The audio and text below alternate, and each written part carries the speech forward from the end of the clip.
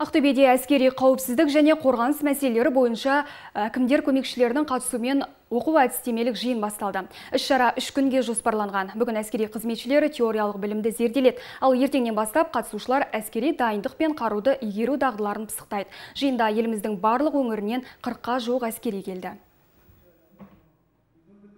ақтөбе облысы батыс өңірдегі әскери инфрақұрылым дамыту бойынша қарастырып яғни аумақтық бір болып табылуы мүмкін болашақта.